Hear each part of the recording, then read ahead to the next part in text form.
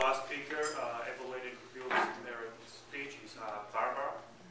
So please.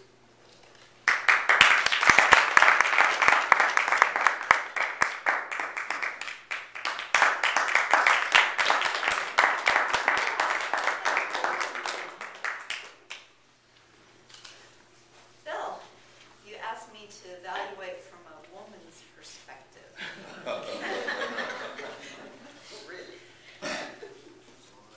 I'm not sure exactly how different that is from a man's perspective, but since I haven't lived in a man's body, what you'll hear today is absolutely a woman's perspective. The initial opening with the PMS, yeah, I was a little bit off put. I'm like, yeah, you don't know what it's like. But then as soon as you introduce the acronym, I'm like, all right, that's, that's great. That's really good. And so that's a great hook because if other women are like me, you're kind of like, yeah, right. And then all of a sudden you're like, oh, okay, I get it now. And this, this is really great. So it's a great hook um, to pull people in. And I love the way that you tell the story.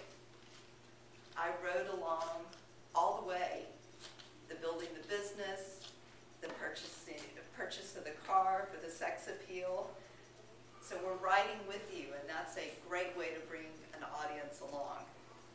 And then the diagnosis and the sound of the doctor talking into a trash can. I believe that was the word you used. But I understood exactly how his voice was amplified in her ears. So great, great storytelling. So I'm still, I'm riding with you the whole way. And then you made the point of walking home, forgetting the car. And wow, that's a great example of how shocked you were. Might slow your speech rate down just a little bit there to drive home that point of just how shocking, shocking this was to you and make the impact a little bit more forceful. Bringing your wife into the story uh, was great. I, I don't know that I saw a lot of emotion with that making the decision not to tell her and then her finding out at the hospital.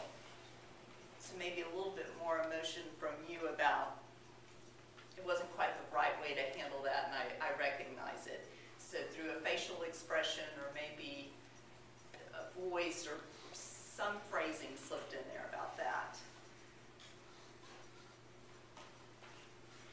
Obviously, it went over time, which was shocking to me, and that maybe is just, you know, getting carried away with the story just like I did. I think it's very, very well done. I don't know what else I could offer from a woman's perspective, um, except maybe that emotional piece about the wife. You also ask about pauses and facial expressions. I thought they were excellent. They were right on. I, I just, I rode the whole way with the story.